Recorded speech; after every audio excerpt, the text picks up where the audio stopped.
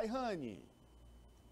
Olha, aquela operação de ontem é, contra os oito empresários bolsonaristas ainda está dando o que falar por aqui, porque o Procurador-Geral da República, Augusto Aras, veio a público com notas dizendo que não foi notificado sobre essa operação. Esses inquéritos que tramitam no Supremo Tribunal Federal investigam milícias digitais e quer saber, porque esse inquérito dos empresários ainda está sob sigilo, quer saber se eles financiaram ou não esses atos antidemocráticos, já que estavam falando sobre a possibilidade de um golpe contra o Estado Democrático de Direito.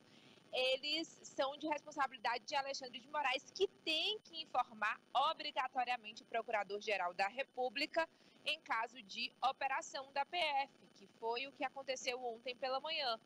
E aí, quando Augusto Aras veio a público dizer que não foi notificado, o gabinete do ministro Alexandre de Moraes soltou também uma nota e mostrou o documento dizendo que é, Augusto Aras foi sim notificado pelo próprio escritório que tem no STF, no Supremo Tribunal Federal, de representação da PGR. Tem um documento, Mas Augusto Aras... Olha, tem o um documento, não sei se vai...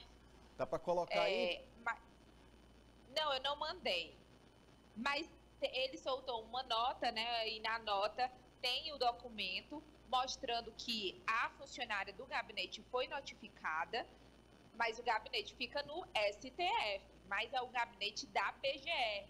E aí, logo em seguida, Augusto Aras veio com outra nota, só uma nota mesmo, dizendo que ele não foi notificado pessoalmente. E a lei determina isso. Então, ficou aí esse clima tenso, porque já é a segunda vez, Ananias, que eles discordam nesse inquérito das milícias digitais. A primeira vez foi sobre a prisão de Roberto Jefferson, o candidato à presidência da República, e foi no ano passado. No ano passado, ele também teve prisão Oi. decretada.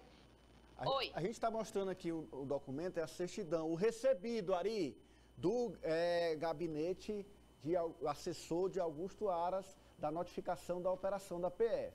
Certifico que nesta data, em contato telefônico com Regina Célia da Silva Vieira, da Assessoria de Apoio aos Membros do STF, da Procuradoria-Geral da República, me foi informado da decisão tais, tais, tais, tais e aí a, a, data é de ontem, 23 de agosto de 2022, Jefferson Pessoa da Silva, assessor. Completa